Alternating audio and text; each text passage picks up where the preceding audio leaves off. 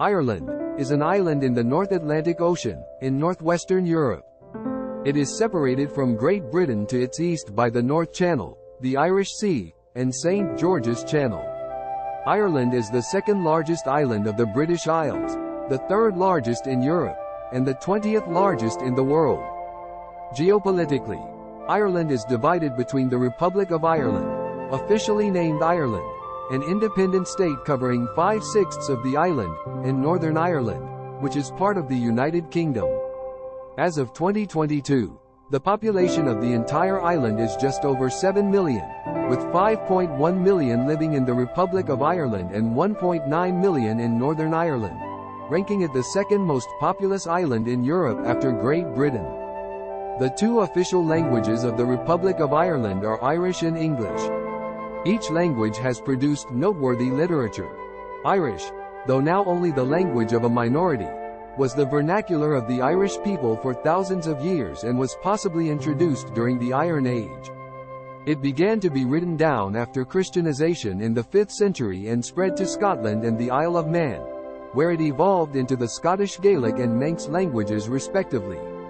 Ireland's culture comprises elements of the culture of ancient peoples, later immigrant and broadcast cultural influences, chiefly Gaelic culture, Anglicization, Americanization and aspects of broader European culture.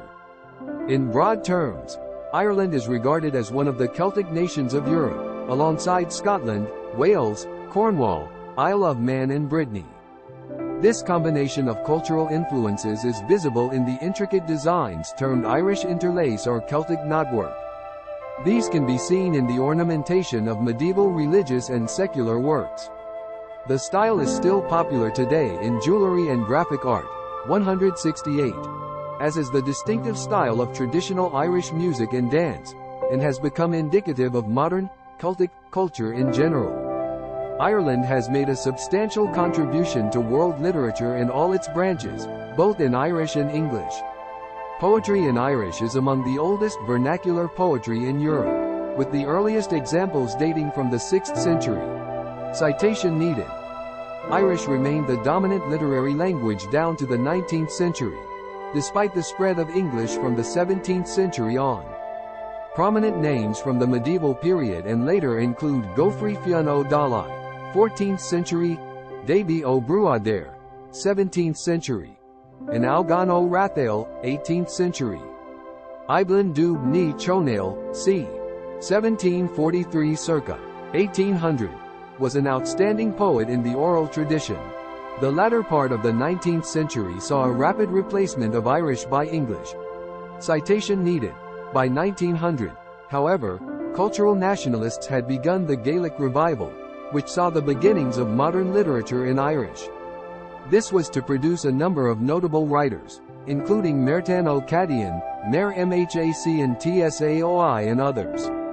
Irish language publishers such as Coiscéim and Clo Ire continue to produce scores of titles every year.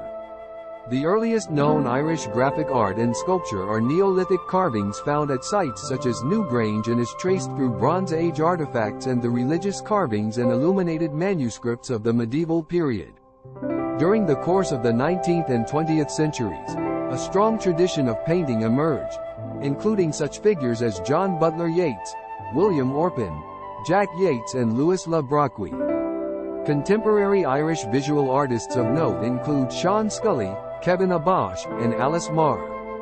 Food and cuisine in Ireland take their influence from the crops grown and animals farmed in the island's temperate climate and from the social and political circumstances of Irish history.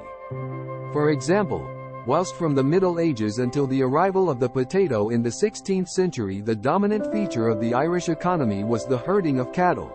The number of cattle a person owned was equated to their social standing. 210. Thus herders would avoid slaughtering a milk-producing cow. Thank you for staying with us for too long. See you next time with some interesting travel story.